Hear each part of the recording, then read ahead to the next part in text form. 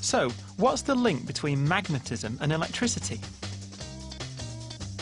As you watch the next clip, work out what's happening. The battery makes a small current that lights up a bulb. But the current also makes a magnetic field. It's just strong enough to push the needle on this compass, but only just.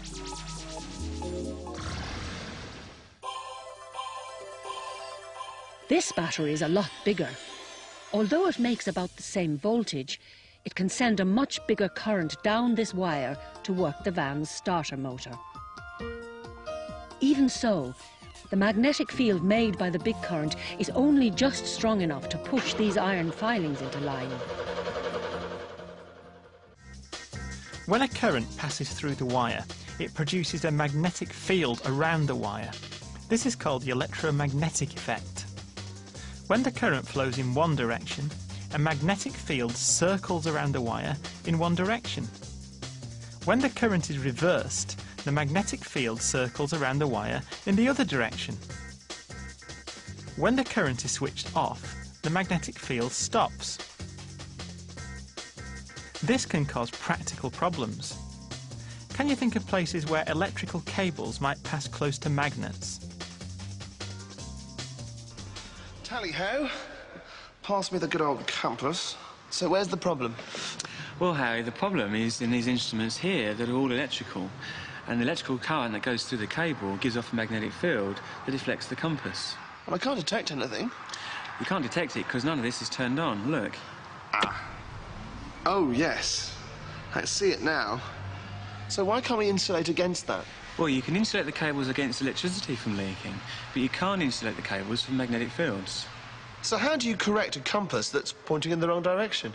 Well, that's easy, Harry. What we use are permanent magnets like these, and we put them around the compass to deflect the compass card back to its true position. So pull it round? That's right, yes. So let's say, for the sake of argument, nick your magnet, that um, this is an electrical cable producing a magnetic field, and it's pulling the compass round...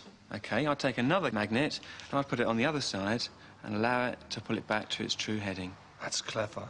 So the magnetic field created by a current flowing through an electrical cable can interfere with plane and also ship's compasses unless it's corrected. Another example is when the magnetic field around an electrical cable causes a humming sound in a loudspeaker. This electromagnetic effect can be put to good use to make an electromagnet. If the wire is made into a coil, the current flowing through it creates a magnetic field that is the same as around a bar magnet. It's an electric magnet. When the current is switched off, the magnetic field disappears. A coiled wire like this is called a solenoid. Can you think of ways of increasing the strength of the magnetic field in the coil? Let me see. It says here that I can increase the strength of the magnetic field by wrapping the wire into a coil. Well, I've done that.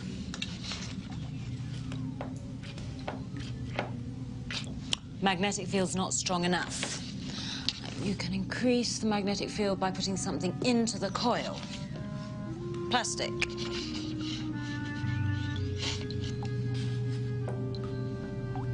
Well, that's not really effective.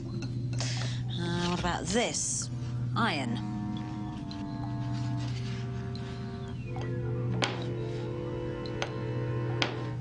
Now that's better, but it's still not strong enough. Um...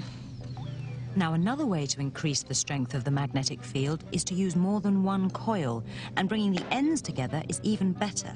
But it's certainly having some effect, but there's still room for improvement larger electrical current through the coils.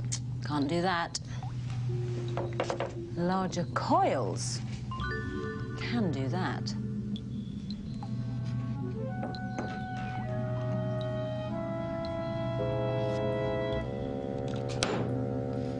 So, now I've got a magnet that I can switch on and off as needed.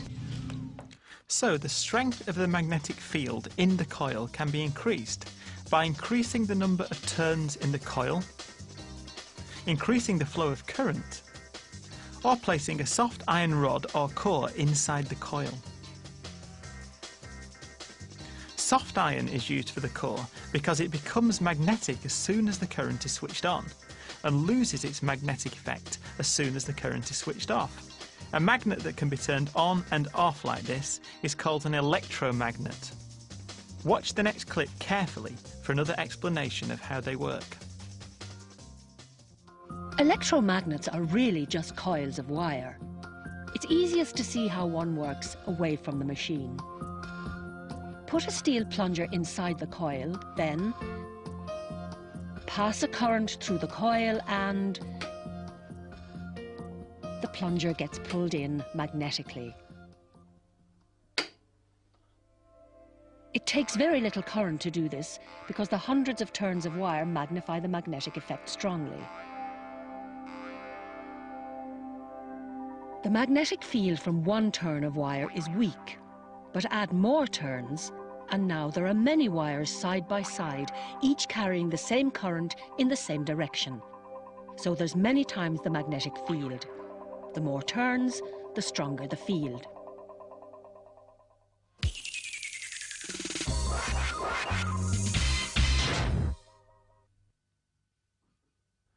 Here's a circuit diagram of an electric bell.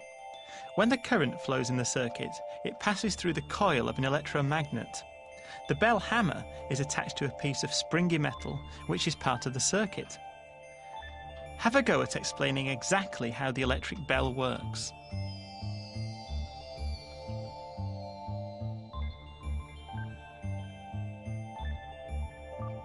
If you get a question like this, you need to explain exactly what happens, in the correct order. Something like this. When the current is switched on, it flows in the wire coil. That creates a magnetic force which attracts the bell hammer and clangs the bell.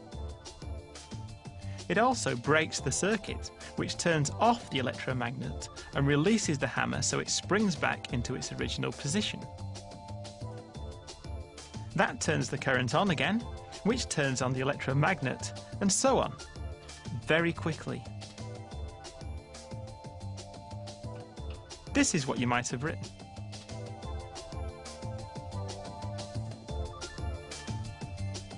Another useful application of an electromagnet is in a relay. A relay is a switch that's operated by an electromagnet. They're often used for safety reasons to operate switches at a distance from the operator. They can also use a small current to control a large current. When a small current flows in the relay, it activates the electromagnet. That pulls the large switch closed, which lets a larger current flow into the other circuit. When the small current in the relay is switched off, it releases the electromagnet. That opens the large switch, which stops the larger current. Even if you don't get a bell or a relay in your exam, knowing how they work should help you deal with any other questions about electromagnets in action. There's more about electromagnetic effects in the physics section of the higher tier science programme.